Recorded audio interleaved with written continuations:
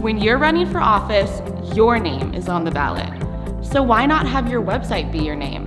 If your name is John Smith, you need a .vote web address that says www.johnsmith.vote. 2022 will come faster than you think. Visit GoDaddy today and kick off your new campaign with a new personalized web address.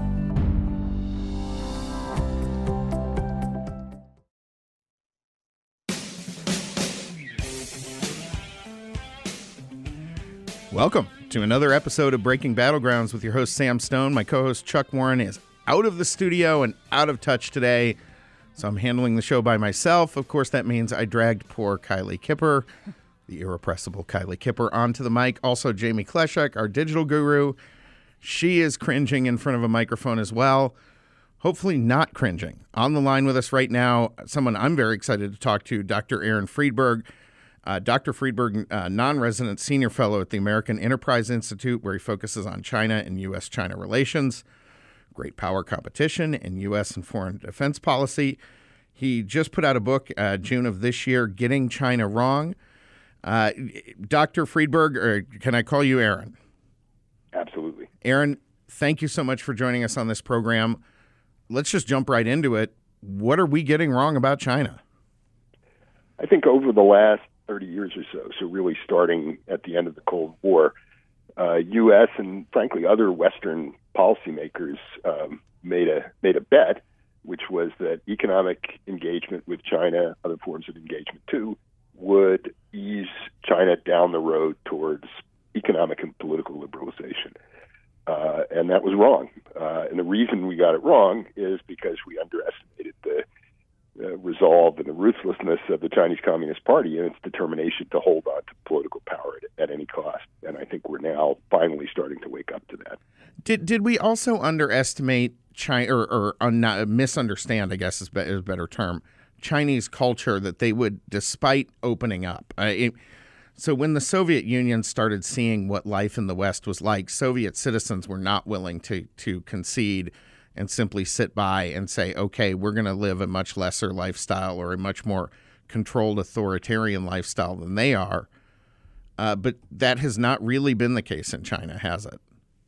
No, and in fact, one of the reasons why the CCP regime wanted engagement and wanted to get the benefits from trade and investment with the West is because it would stimulate economic growth. And one reason for doing that was to try to keep the population happy, and keep them supportive of the CCP. And they've succeeded in doing that up until now.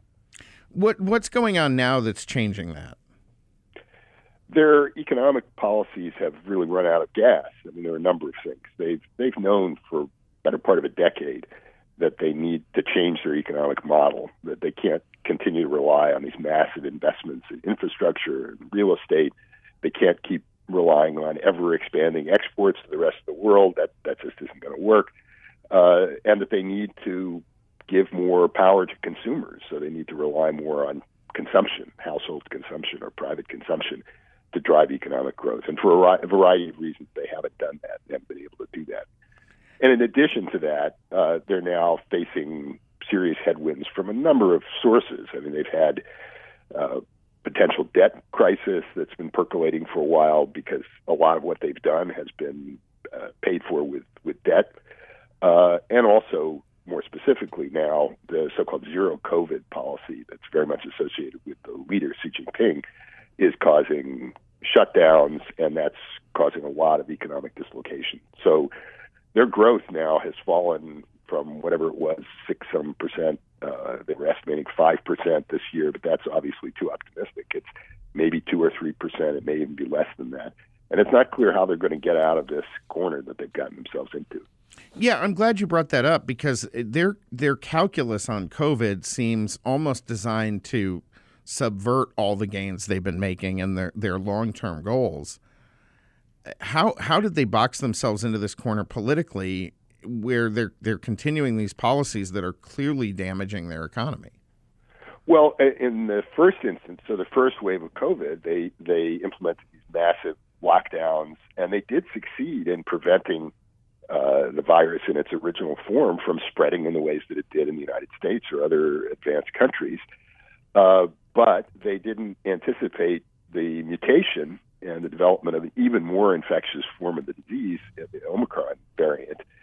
Uh, and they didn't succeed in, you know, adequately vaccinating their population. They, uh, the vaccines that they have are not as good as those available in the West.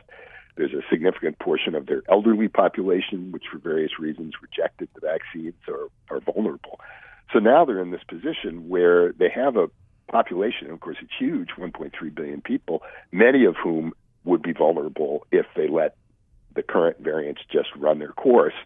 And there are some estimates, including some by scientific uh, researchers in China, that if they did that, they might have as many as a million, a million and a half fatalities. So they can't really let go. Um, so they've resorted to these shutdowns again, and they're having, as I said, they're having real economic consequences. And part of that vulnerability kind of stems from their one child policy that they carried for so long, right? And the fact that they now have an enormous overhang of senior citizens in their population. That's true. Uh, and it's going to get more so. Their population is going to age very rapidly and it's going to start to shrink. Uh, so yeah, they have they have a lot of elderly people. I guess some of these people were afraid for various reasons to take the vaccine. For whatever reason, the regime doesn't seem to have pushed it as hard as you might think that it had. And in any case, the vaccines they have are, are kind of lousy, certainly compared to the ones that we have. And for political reasons and reasons of sort of national pride, they're not willing to use the vaccines that are available in the West. So they're insisting on using their own, which just don't work very well. How much does that potential population contraction uh, factor into their economic planning right now? Because when you're talking about like the real estate expansion that they've been undertaking in their country, if you're facing a giant fall off of a cliff in terms of your population, that that combination makes you incredibly economically vulnerable, right?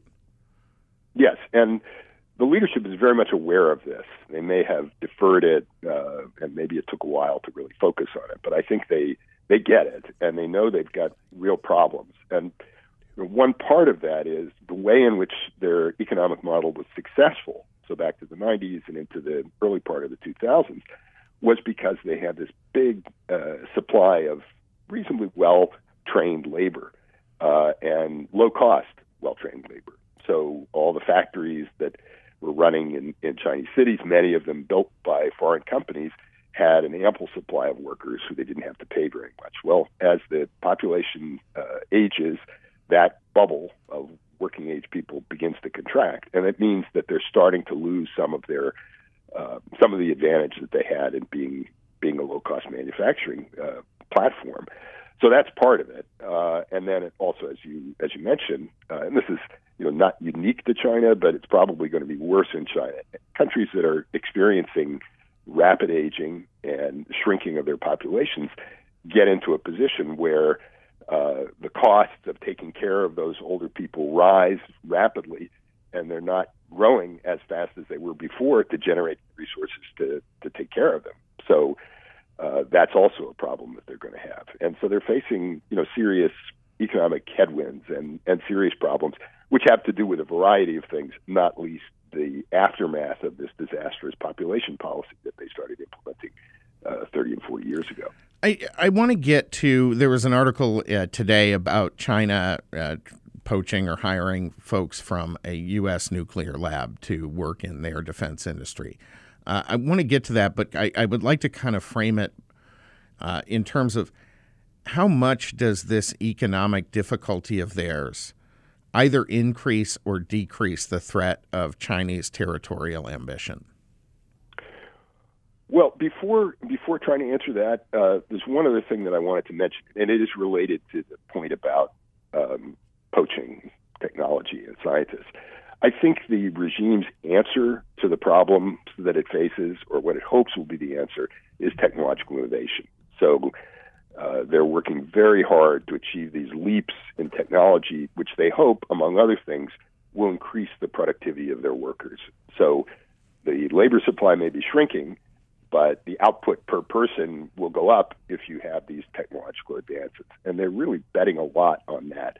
And that's one reason that they've been as aggressive as they have been in trying to acquire technology wherever they can get it and however they can get it. On the question of whether uh, slower economic growth is going to make them more or less threatening, uh, you know, I'm agnostic on this. You can tell this story either way, and it sounds plausible. One possibility is that as growth slows down, the population is going to get increasingly unhappy. Uh, they're not going to have uh, more and more uh, resources. They're not going to be able to imagine that they're going to have a better and better life, and maybe that'll make them uh, hostile to the regime or resistant to the regime. And under those circumstances, perhaps uh, you could imagine leadership that decides to provoke foreign conflict in order to rally support, use nationalism. And the regime has been using nationalism, and they've been using friction, I would say, with other powers, including Japan, including the United States, including Taiwan, to gin up uh, nationalist sentiment and keep people on side, keep them supportive of the regime. Uh, thus far, they've been very reluctant to go further than that and actually use force and risk becoming involved in conflicts in order to achieve that objective. And I think that may be true for a while. So, one story is they get into trouble, they try to deflect attention by pursuing conflict with, with foreign powers. Well, That's that, very risky. That also, though, in a sense, mirrors something Russia has done since the Cold War, where they occasionally sort of flex their muscle, their their military muscle at U.S. military assets, and I've never seen that as actually being a threat directed or intended at America, so much as messaging to their own people. I think that's true, and I think their concerns, the Russian regime's concerns about having countries on their border that are successful democracies that are integrated into Western institutions is not because they're afraid there's going to be an invasion launched by NATO from Ukraine if Ukraine was a NATO member, but because they're worried about the example and the possibility of sort of ideological contamination across their borders. So yeah, they they do worry about that. I think there's a difference, or there has been a difference thus far between Russia and China, which is uh, the Chinese leadership has had reason to believe that time was on its side and that things were going their way. And if that's true, if it, uh, year on year your power is increasing relative to those of your potential opponents, uh, it, it means that you can sit back and wait and uh, expect that you'll be in an even better position down the line. I think in the Russian case, they've had good reason to think that that wasn't true, that their power was diminishing, and that may have encouraged them to be as reckless as they've been. Because they also have an enormous population uh, contraction situation coming up or, or, occurring right now. We have just about 40 seconds before we have to go to break. Uh, Dr. Friedberg, we're going to have you back for our next segment also. Uh, how do folks follow you and keep up with your work? Uh, one way would be to follow me on Twitter, which is just at my name, Aaron Friedberg. Perfect. Uh, that's probably the, the simplest thing. Fantastic. Folks, make sure you follow Aaron Friedberg on Twitter. Uh, he obviously is doing some amazing work in regards to U.S. foreign policy in China. Breaking Battlegrounds will be back with more in just a moment.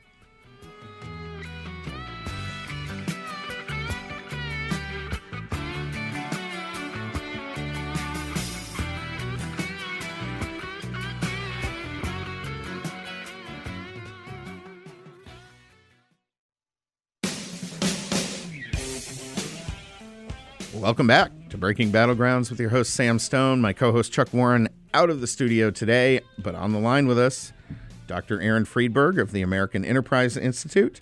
Uh, you can follow him on Twitter at Aaron Friedberg. We're talking about China. We're talking about upcoming potential economic crisis facing them, but a lot of Americans are facing economic crisis these days. Their stock market is going down, down, down. There are fewer and fewer places to protect your assets, uh, especially with Joe Biden in office. What if you could invest in a portfolio with a high fixed rate of return that's not correlated to the stock market? A portfolio where you know what each monthly statement will look like with no surprises. Um, you can and turn your monthly income on or off, compound it, whatever you choose. There's no loss of principal if you need your money back at any time. Uh, that's what Yrefy does, folks.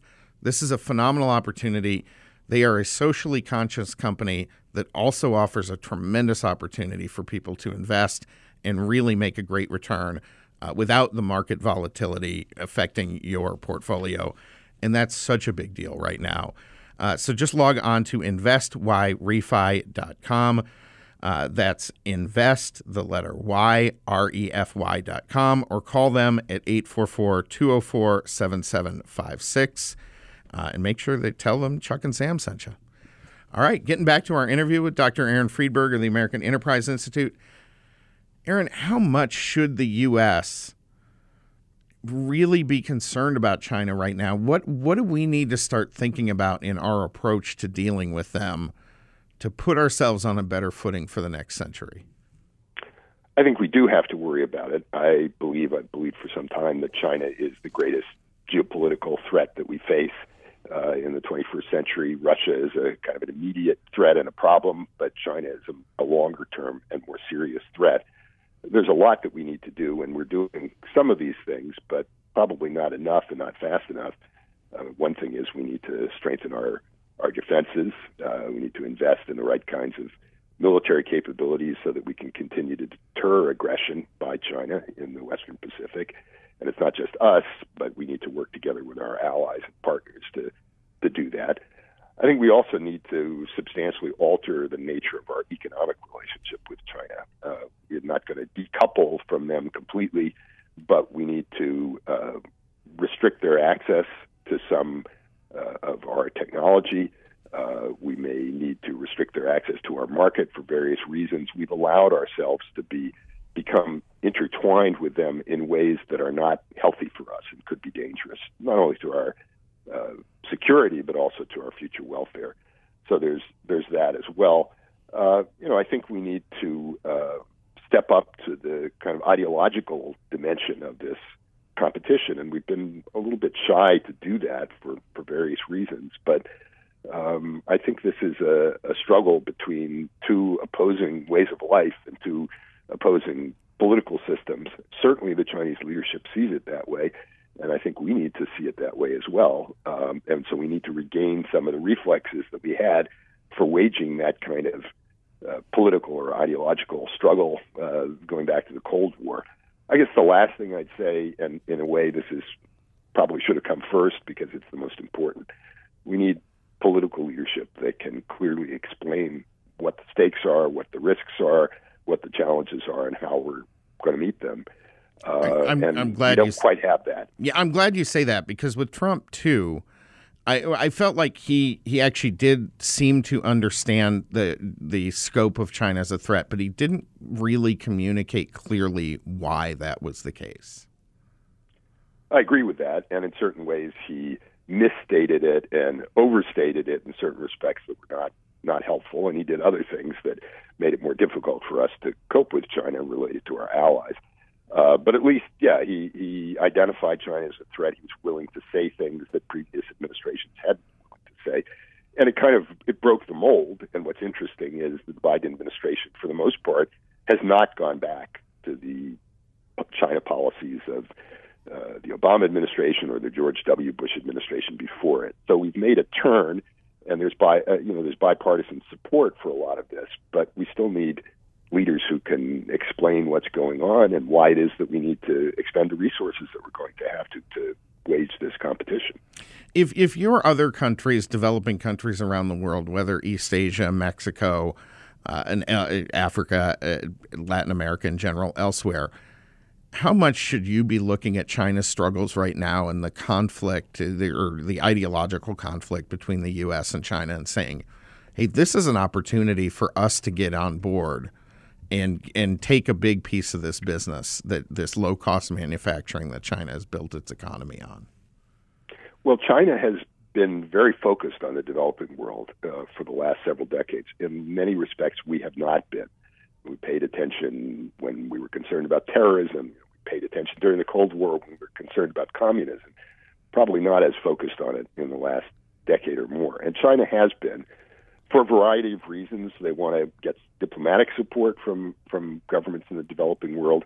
Uh, they're looking for the possibility of building military bases.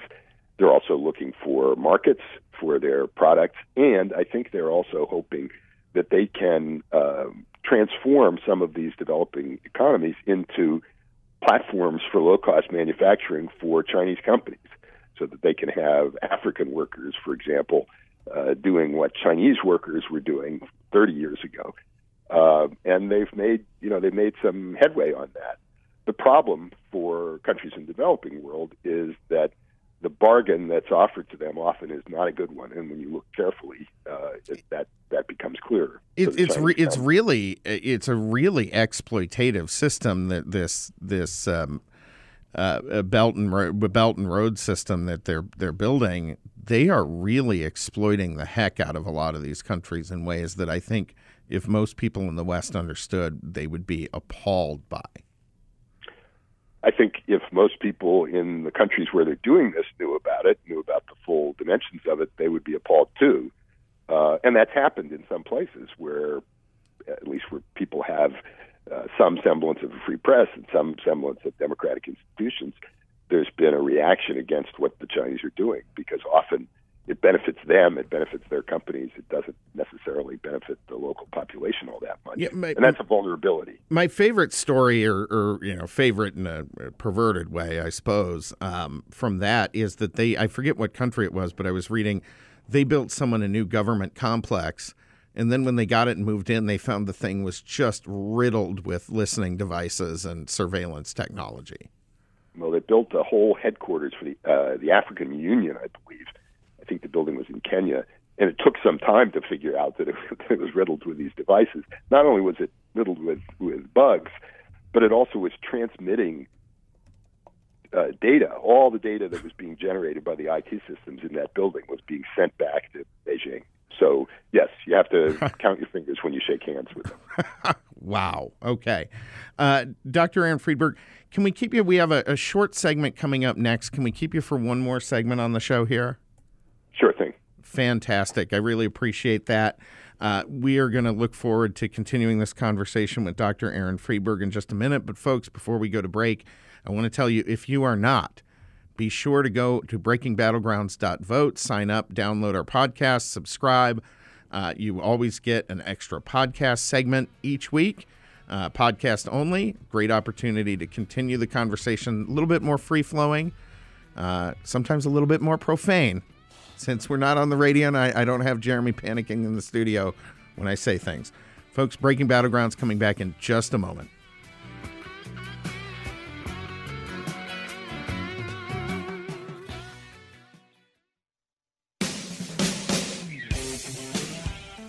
Welcome back to Breaking Battlegrounds with your host Sam Stone, my co-host Chuck Warren, not on the air with me today, so I have, I'm staring at these lovely ladies across the table here who have been totally silent thus far. I mean, I, I feel like I have to drag words out of out of them at some point here. You don't have to drag it out of us. This conversation is just very um, intelligent.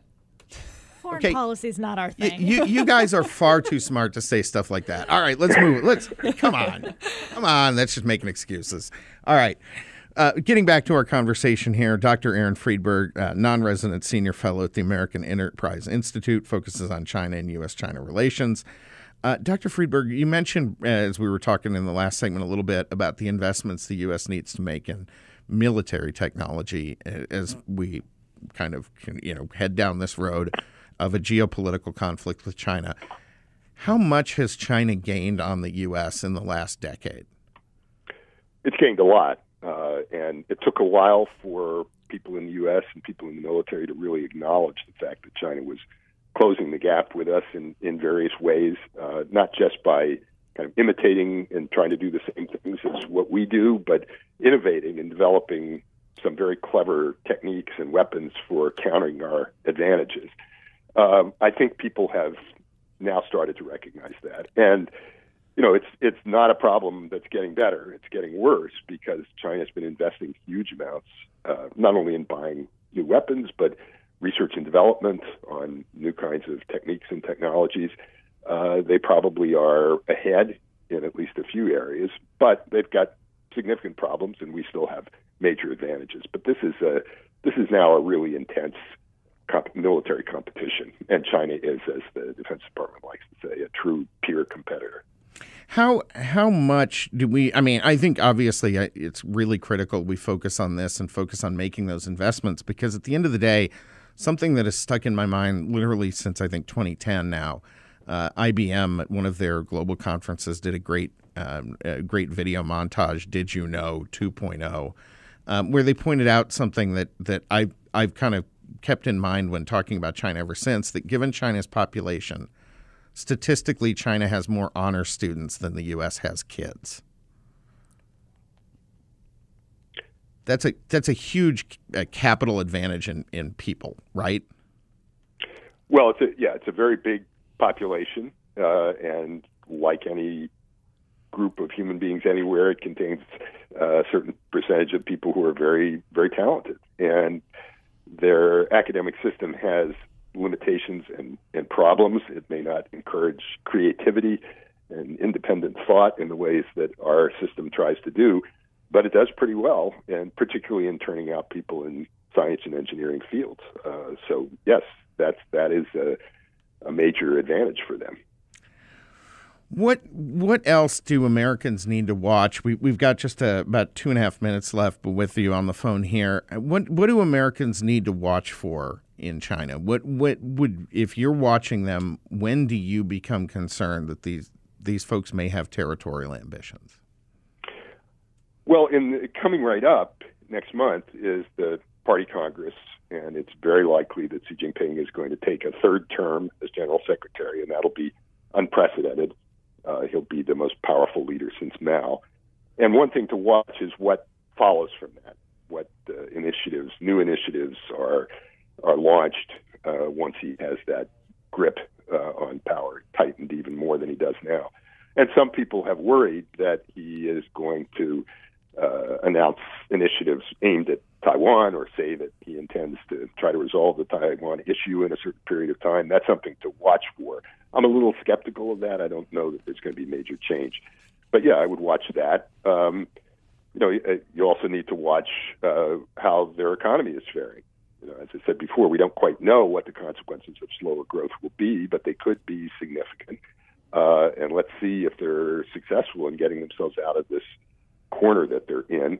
Uh, again, I'm it, I'm dubious of that. The, the real to watch. The real danger from any authoritarian regime is when their people start to become restless. Right? I mean, at that point, they become very unpredictable.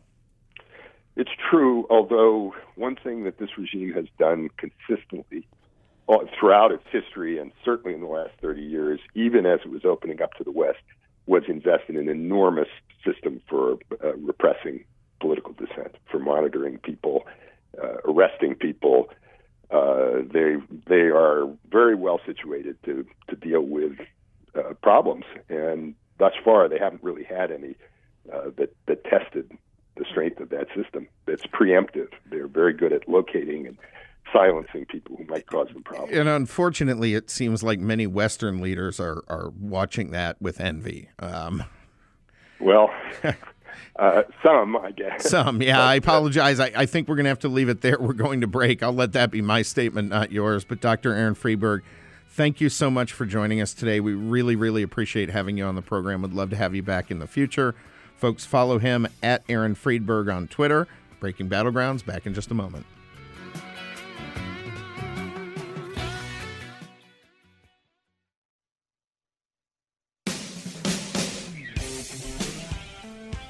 Welcome back to Breaking Battlegrounds. I'm your host, Sam Stone. My co host, Chuck Warren, is out of the studio today. Uh, he is dealing with some personal volatility, but if you're dealing with market volatility, if you're concerned about your portfolio and what's happening to it right now, and you want to know where, uh, you know, you want it, you want some stability, you want to be able to earn a decent return without the risks of the Biden economy then you need to go to investyrefy.com. It's a socially conscious company that helps people out of debt uh, and also offers you an opportunity to invest and make a solid, reliable return on your money. And what's better than that, folks, especially right now? So just go to investyrefy.com. That's invest, the letter Y, R E F Y.com, or call them at 844 204 7756 and tell them Chuck and Sam sent you. On the line with us right now, uh, getting to our next interview here, uh, another person I'm excited to talk to, and we appreciate uh, all the folks at the Washington Times who are frankly doing a fantastic job of reporting the actual news coming out of DC these days, which not everyone in that universe does. unfortunately. Uh, we have Kerry Picket, senior congressional reporter for the Washington Times. She's a fill-in radio host on Sirius XM Patriot 125. Can probably teach me a few things about what I'm supposed to be doing because I'm still an absolute amateur at this, folks. Um, but uh, she before that she produced news for Robin Quivers of the Howard Stern Show on Sirius XM, wrote entertainment news for MTV Radio, and worked as a production assistant at MTV.com. And I actually want to get to a little bit of that later in this. Uh, but want to start. And Kylie had a question about an article you wrote.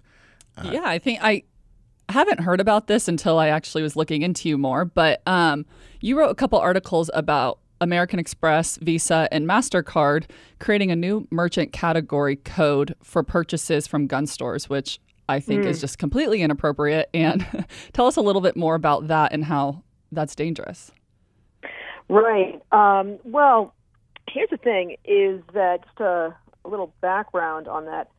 That you end up getting. Uh, you know, Visa said that it would end up uh, joining with Mastercard and American Express about like a week and a half ago. Said it would adopt the International Organization for Standardized, uh, like standardization of new merchant code for gun store sales. Uh, in, in the past, uh, it had previously categorized gun store sales just as general merchandise.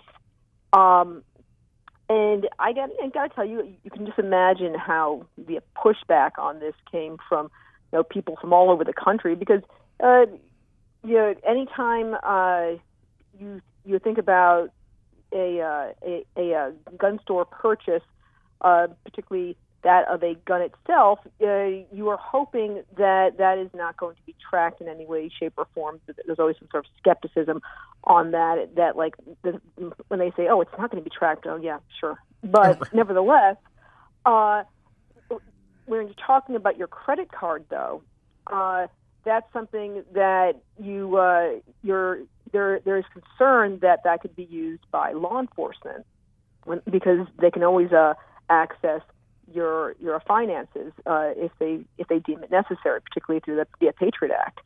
Uh, so, when what is particularly uh, concerning here is is that Amalgamated Bank uh, basically uh, ended up getting pressured by a bunch of gun control activists uh, to have this sort of changed, and at first you ended up having Visa push back and say, no, no, no, no, no, you know, legal gun purchases are legal, and, and we're not the moral, you know, arbiters of of, of any of this. We're we're we're going to be standing strong, and then they ended up eventually caving uh, when the uh, international organization of, of a of a standardization came along and said, "Guess what?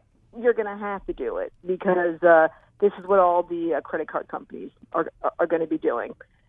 Well, uh, so they, so they basically made this announcement. Now, here's the thing, though.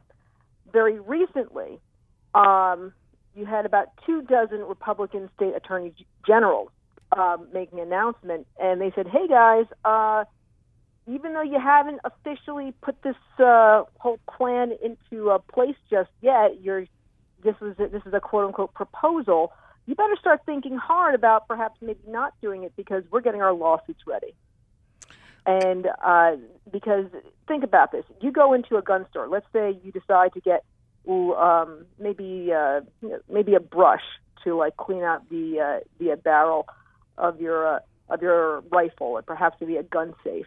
You didn't decide to get a gun.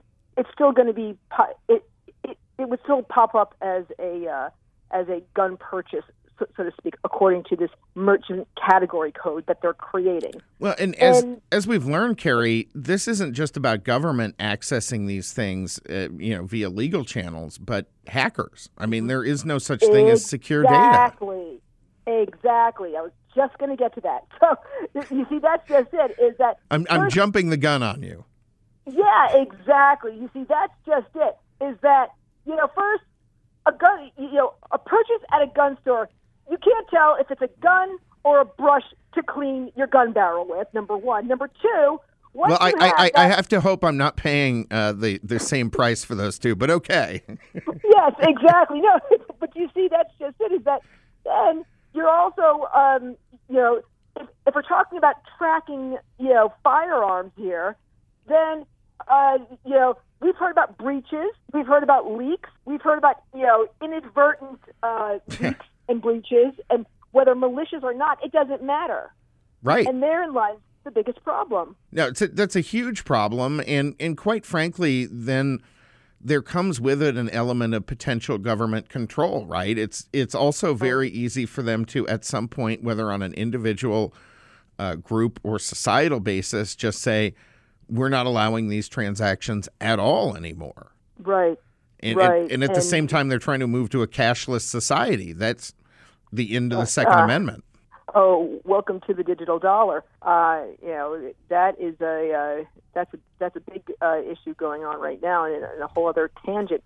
But you see, uh, one of the issues that uh, the uh, Second Amendment Foundation President Alan Gottlieb rightfully brings up is that in one instance, some people can say, "Well, you know what? Myself as a gun owner, I'm just going to be buying in cash, and to hell with all that." But uh, you know what? A lot of people these days, a lot of gun owners, a lot of gun enthusiasts, uh, buy online. They, right. they go to places like gun, they go to places like gunbroker.com or to guns.com, and and and, and obviously people people know the legal process.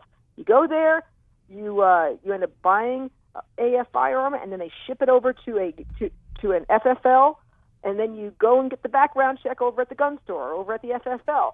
Yeah, it, it's uh, Mhm. it, it's but the problem is though is that PayPal and Venmo and all those places um, they don't allow for any gun purchases on their on their processors. So, so then you have to use a Mastercard, Visa, or American Express when you do an online purchase of a firearm. So then, so therein lies a bit of a problem there. yeah, a potentially huge problem there. And and to compound it, uh, I am also in in addition to uh, this fantastic radio program we have here.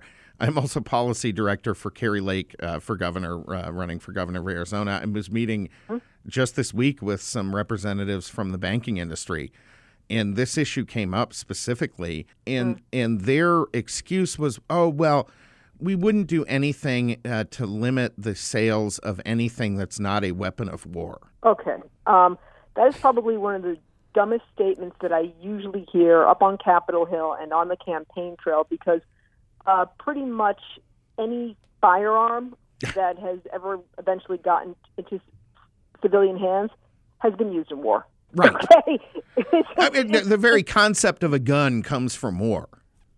yeah, I- mean, it, it's like you go to the National Shooting and, and a Sports Foundation, and they list all these firearms that have eventually gotten into civilian hands throughout history that all started off in all these major wars. It is it is such a ridiculous statement, and uh, you know it's it's it's one of those things that that that you had these statements coming from um, you know very often liberal lawmakers where they go that's a weapon of war. That particular statement really does need to be retired. Well, it, it's particularly ridiculous because, for instance, they say, "Oh, the, you know, they, they say it's quote assault rifles," which we know they they don't understand what that term actually means. But two, then they point downwards to semi-automatics.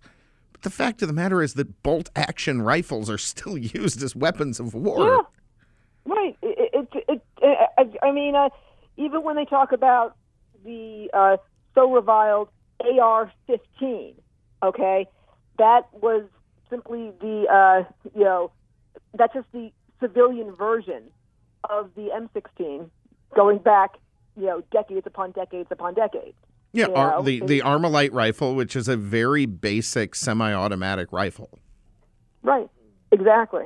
Exactly. It's just it's just a civilian version. That's and, all. And if you break it down, this is one of the things that I think one of the things I think about uh, the folks who are the gun control advocates is over and over again they show very clearly they have no idea at all what they're talking about. They, they, they don't understand weapons. They don't understand how they work. They don't understand the Second Amendment or the basis for it. But at the end of the day, you know, if if you're looking at the function of any semi-automatic weapon, they're basically all the same, right? Well, um, Yes, I, I mean, I, you know, obviously you have some but- that are ga- you know gas. yeah, yeah. yeah, yeah. I, I mean, there's, I, I mean, yes, they they function similarly. Uh, of course, generally, what happens when they talk about the quote unquote, you know, what is an assault rifle?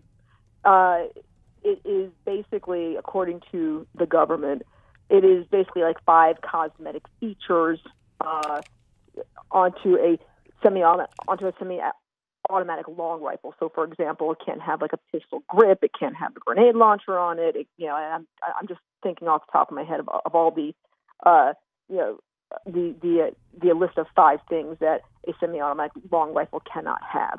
You know, of course, if you're talking about like a Ruger Mini 14, which also shoots 5.56, 223 ammo, uh, you know, same thing that an AR-15 shoot, shoots, but it looks like something you that, that like people would traditionally think, oh, that's what you shoot Bambi with.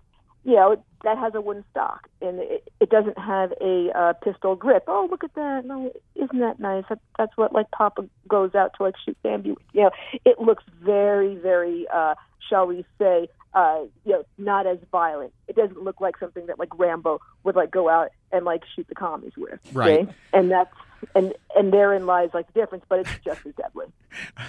I, so I, w- I want to switch topics quickly. We only have about uh, two minutes left here, but uh, you Mm-hmm. you've been covering also the uh, the Martha's Vineyard foibles, uh, Sure. and as a border state, uh, th- this is just laughable, isn't it? I mean, we deal with more people on an average day in Yuma, which has less resources than Martha's Vineyard, Mm. than than they did in in you know I mean fifty people. That's literally a drop in the bucket for what states like Arizona, Texas, California are dealing with.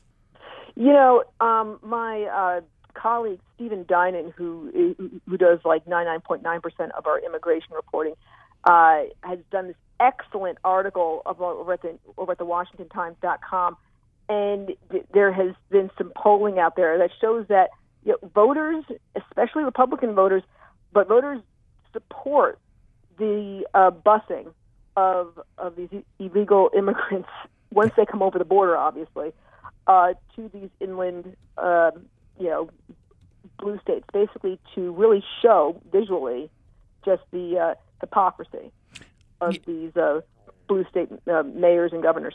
It's really it's really astounding. I mean, because all of them, including the folks in Martha's Vineyard, put out these statements: "We're sanctuary this," and "We welcome all immigrants." That, and then fifty of them show up on their doorstep, and they can't wait to round them up and ship them off to a National Guard base in another state.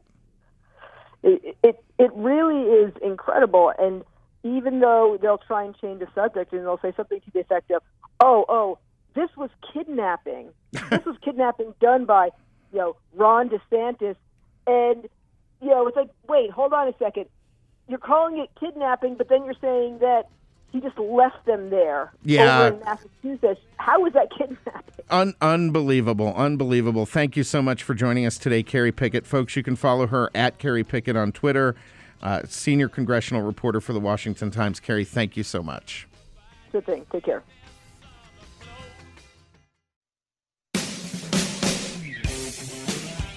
All right, welcome to the podcast only segment Breaking Battlegrounds. Your host Sam Stone in studio with me today, the irrepressible Kylie Kipper. You got some words out of me. Like five. I think that was the most words I've we've gotten out of you all day, right there. Really? Pretty close. Like you, you, you did ask one question, but Well, I was because I, I was actually curious about that. I'm always also curious about China. However, that is just She she's making an over her head gesture here, folks. This is this is great radio because of course you can't see it.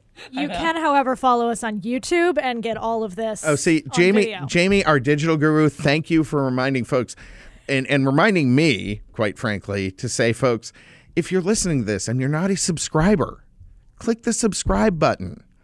If you're listening to this and you like us, send it to a friend and tell them to click the bloody subscribe button.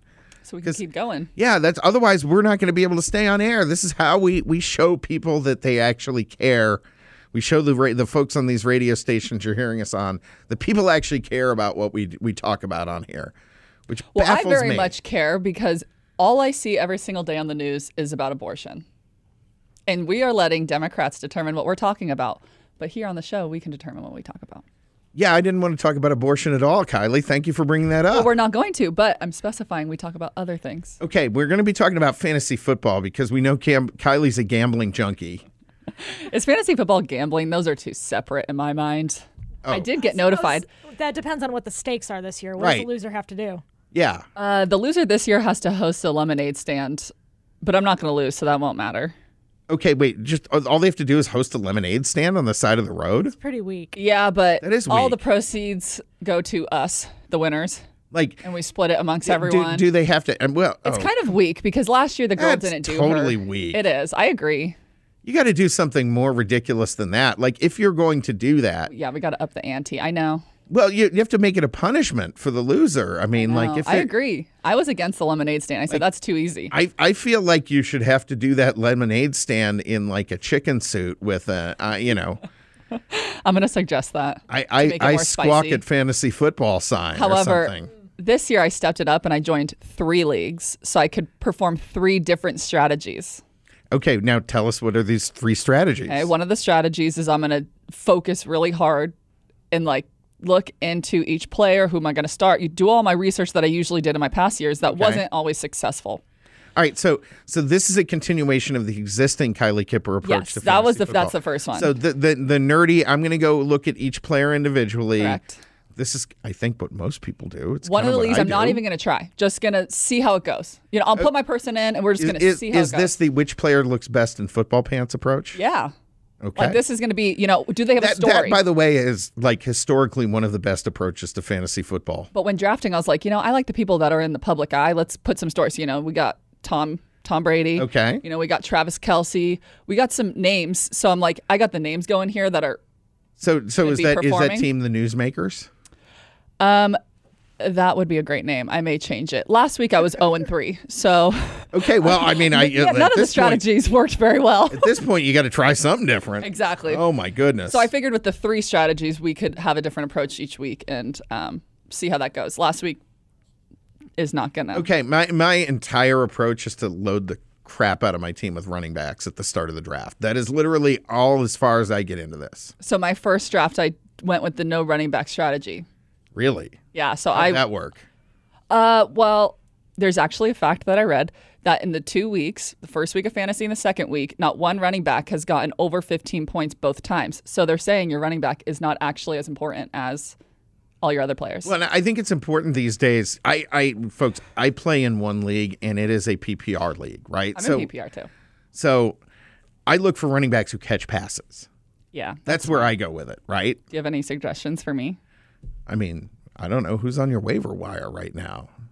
Like, Not many great options. no, everyone picks over it. You you just got to go start looking for all the third down backs that are left there and, and hope someone. I'm also over these sleepers. The sleepers never perform. They're sleep the whole time. I don't like that strategy. No, actually, you know one of one of the things I do is look for old players that people are writing off.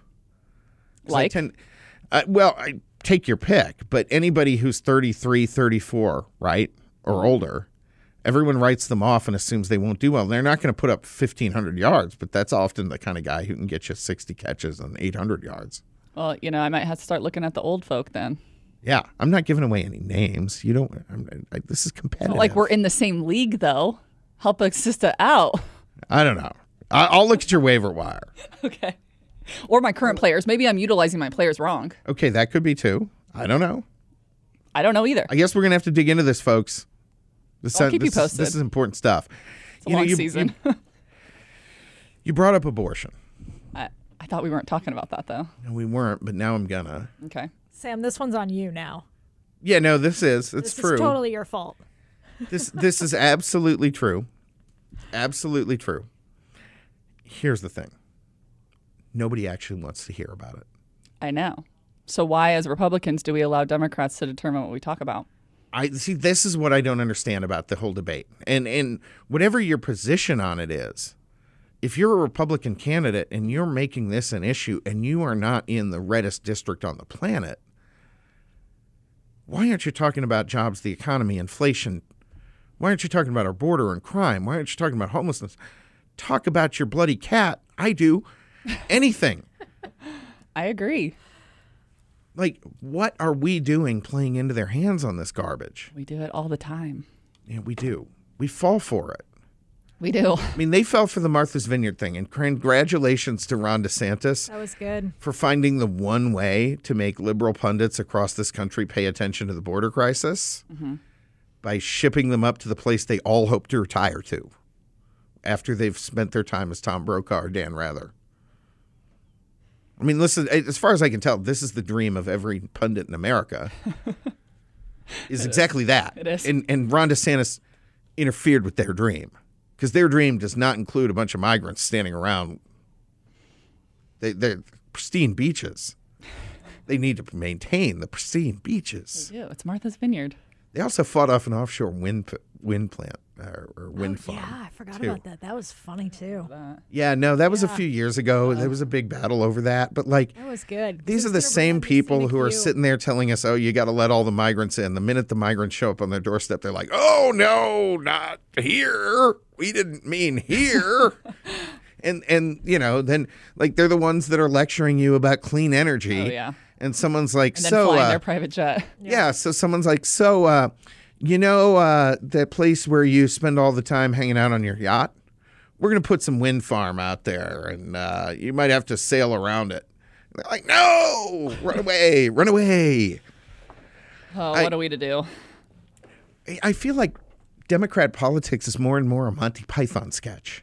Well, so actually yesterday I came across Citizens for Sanity, and it, I came across because I was like, these people are losing their mind because they're posting things all over that say, you know, uh, help Mike get turn into Michaela or whatever. And so what they're doing is they're putting out the policies that Democrats that are so radical and just putting billboards around, putting stuff in newspapers, just being like, this is what they want to do. Right. But they're putting it in the plain text of like what. Uh, uh, you'll Right. have to look into it, but No, look I'm gonna- up. I- I am was- gonna look it Because at first but- I was like, these people are losing their mind. They want us like they want us to believe this. Then I went to their website, did further research, realized oh they're doing the reverse psychology of being like this is actually insane. Well, see, this is what I love about what's going on in this country. I mean, don't love, obviously. I flip and hate it. but the fact that if, if I look across the board, I think people can make an argument.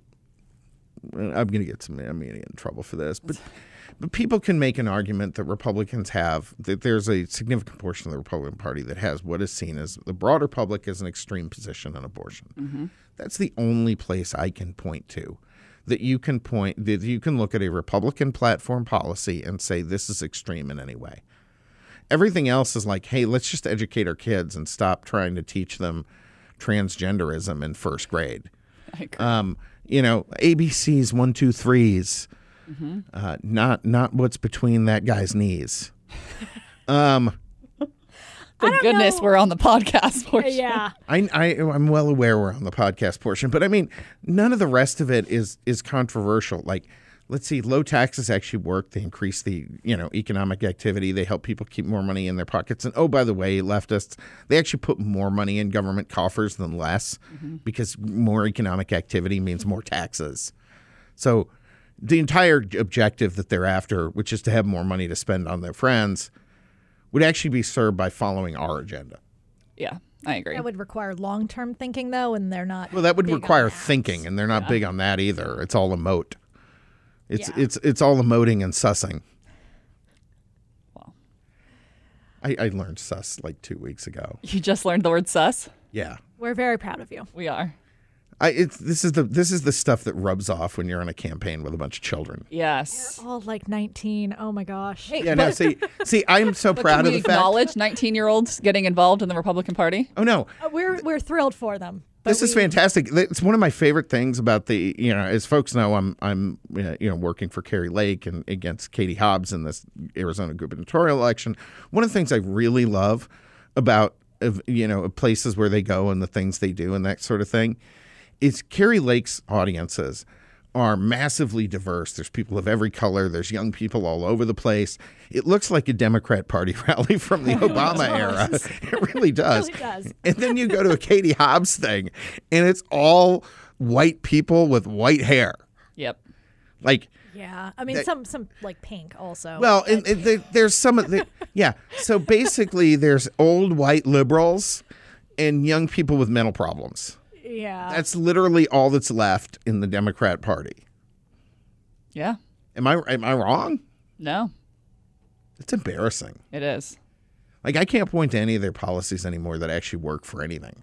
I actually, if you go to both of their websites, Katie and Kari's, Kari has actual concrete things, which, you know, I might have had a hand in writing uh, up some of that. but if- yeah. like plans, like literal plans. No, yeah, that but if a- you go to Katie's, nothing. No, it's that- all like it's all fluffy platitudes. Word It's- and it's- Border policy yeah. kills me because it's all just like, oh, we're going to shuffle a little bit of money towards Yuma, and then the rest of it, we're just going to beg and hope that Joe Biden does something. I, I Clearly, like, he's go not to going both. to. If you're an independent, go to both because it's it's now I, I'm gonna probably I'm gonna bad. probably do this. People are gonna be laughing at me here in just a second, but I, I have to try to do my best Katie Hobbs impression on this one.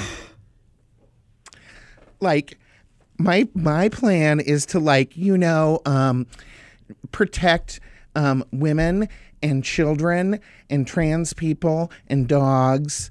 And, um, you know, if I get a chance as governor to build a fair and equitable society, um, we're committed to doing that because equitable societies are equitable. And equitability is the most important thing for all of us. We have no idea what it means nor will you because that what it actually means is that my friends and I get to make a lot of money off of your government taxes that you're paying that we're not paying because we don't have real jobs. Did I nail that? you did. Wasn't quite high pitched enough. Yeah. I can't do that high a pitch. I know she's very squeaky. Well, and also, I, I look when I was younger, I could have gotten up into those registers, but I'm 46 years old now, and I growl a lot. It I want to know: work. is there going to be a debate I mean, or no? the- oh God, no. No. You think that Valley Girl is going to get on stage with Kari Lake? The wipeout that would happen at that point would be epic. I know. Kari would so mop the floor with her on every single thing she said. Every time she opened her mouth, she would get schooled. I know. That's why I want to see it. Yes, we we all do. I, I love that the press here is like they they're caught in their own foibles, right? Yeah. Like they have to they have to criticize Katie Hobbs for avoiding a debate, but you know damn well there's not one of them that actually wants to see that debate happen.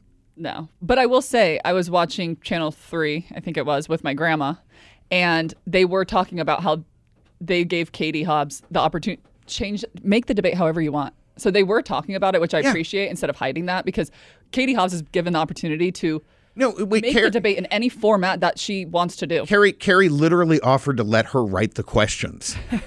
And you still won't do and it. And she still won't do it. Yeah, no. You go ahead, Katie, write the questions and she still won't show up. The cowardice of this woman is her most salient quality. Now, of debates, did you see Feder Fetterman called himself Fetterwoman? Yes. I I That's have the best. I have trouble. I have trouble because I start fixating on the um, alien crawling out of his neck. I don't know. I don't know. what It's that is. it's he's got he's got I know, this, I this saw it. I- thing. I know. It it looks like it's it looks like it looks like we need someone to show up with a flame gun and and be prepared to kill the alien offspring when it emerges. Um so anyway, I want to finish with one personal note for this week. My buddy, my friend, my pal, EJ Montini. EJ Manweenie of the Arizona Central, Arizona Republic. EJ decided this week, as so many other Democrats across the country have, that criticizing Jew hating Jew George Soros is anti Semitism. Now, hmm. George Soros does not like Jewish people. He may be one of them, but he has made it clear throughout his life he does not like us. I mm-hmm. am Jewish. And I pointed out that criticizing somebody who's Jewish is not anti Semitism. George Soros has funded non prosecutor criminal coddlers across this country. Mm-hmm. And it is entirely fair to say that those people have gotten Americans killed. They have let criminals out. They have refused to prosecute them. They've refused to put them away. And violent criminals have gone on to kill innocent Americans The very next day. the very next day because of George Soros. This is a Soros murder rave across this country. I don't think there's anything at all anti. There's, in fact, I'm, it's not think, folks. There's nothing at all anti-Semitic about pointing that out. This man is a cancer mm-hmm. on American culture, and that has nothing to do with his ethnicity or his background or his religion or anything else. It has to do with his actions. But when I point this out, EJ Montini uses this as an article to say that Kari Lake is anti-Semitic No. and I am anti Semitic by association. Except, again, I'm Jewish Yeah. and I actually like my own people, Unlike George. unlike George. No, George has made it very clear that he is not, you know, he doesn't like Jewish people. He also, at the age of, I think it was 12 or 14, um, I think 12, his parents sent him to live with a Hungarian government official. Um, they were Jews. They fled the country. They sent him to live with a Hungarian government official to pretend to be that guy's godson so that the Nazis wouldn't, you know, end up taking little Georgie. Little Georgie spent the next few years as a runner. And the the, per, the family that they put him with assisted the Nazis. Georgie spent the last few years as a runner. He has said on the air that he calls that the time of his life. He was a teenager. Teenagers know the difference between a group of people that are murdering an entire other group of people, and they know that's wrong. I, any teenager in the world who doesn't understand that that's wrong has zero moral compass whatsoever. And yet, Georgie called that the time of his life. I'm sorry. Yeah. That's anti-Semitism. That That's- leaves me speechless. That's that's what we're talking about here. And yet, somehow, EJ Manweenie, Thinks that it's you. he thinks that it's me. He thinks that it's Kari Lake because we're critical of this guy. This is, folks, this is embarrassing. If you're in the media and you're you're pushing this dumb narrative, get up, look at yourself in the mirror and realize you are a piece of dirt. That you are pushing something that is absolutely offensive to any thinking human being who's willing to look at the truth. And the truth of this situation is George Soros is a scumbag.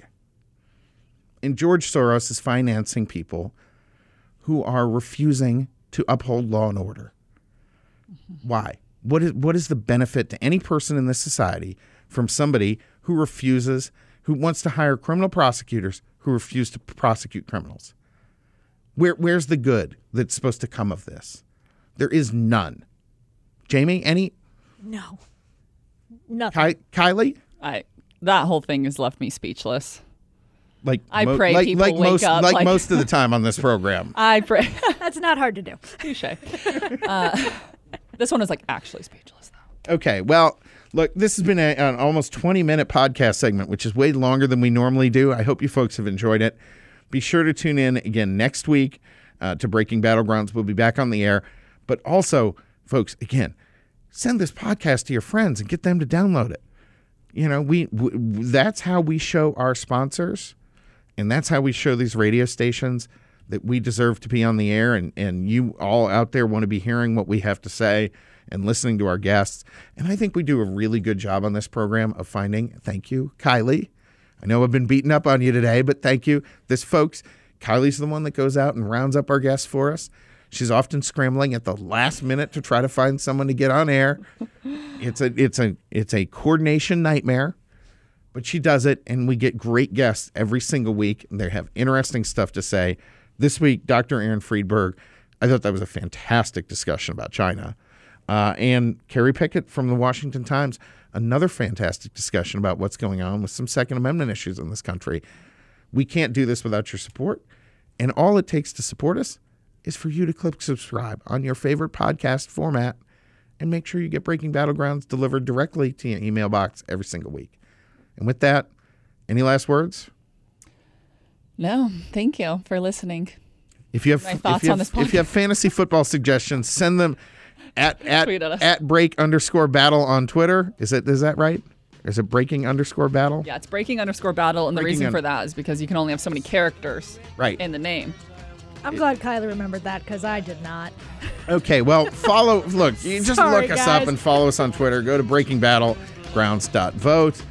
Uh, All the tune links are there. It's all the really all the links are there. Absolutely. Tune in. Stay tuned. We're gonna have some more fantastic guests for you next week. And Battlegrounds over and out.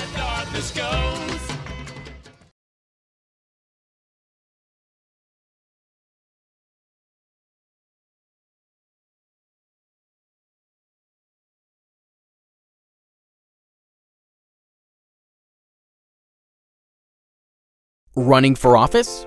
You need a campaign website. Introducing the web address of the democratic process, dot .vote. So how do you purchase your .vote website? Visit www.yourname.vote. Type your website name, example www.johnsmith.vote. It's available. Add your web address to your cart and check out. Once checked out and have received confirmation, you may begin to create and utilize your website to connect and engage voters. To learn more, visit get.vote. Happy campaigning!